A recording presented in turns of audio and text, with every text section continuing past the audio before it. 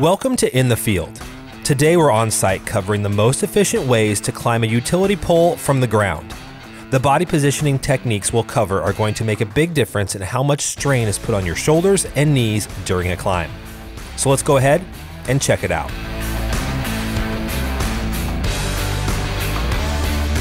Taking bigger steps might seem like the right approach to get up the pole faster.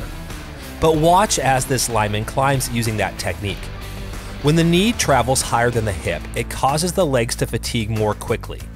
That creates instability in the lower body, increasing strain on the knees. Taking smaller steps where the knee stays at or below the hip isn't just a smoother way to climb.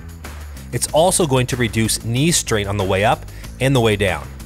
Side by side, it's not hard to see how taking smaller steps is the more efficient way to climb.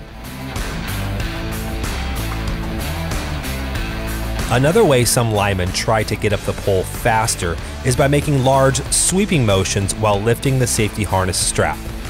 But it won't be long before that technique starts to fatigue the shoulders, neck, and upper back. Try to keep the strap in the power zone and lift using smaller wrist flips. This method reduces muscle and joint strain and makes it much easier to find a steady climbing rhythm. It might just get you up the pole faster too. Additionally, keeping your feet at a 45 degree angle against the pole will distribute force more evenly on your ankles and knees. And when you do get to where you're working, avoid leg fatigue by shifting your weight from side to side and only locking out one knee at a time.